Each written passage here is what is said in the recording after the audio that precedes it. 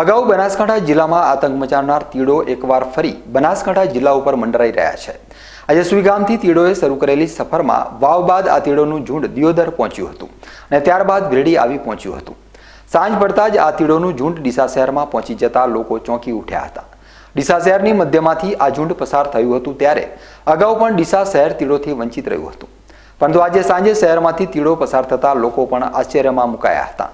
ડીસા શહેરમાં જે તીડો પસાર થયા હતા તે તીડો ખૂબ જ નીચેથી પસાર થયા હતા.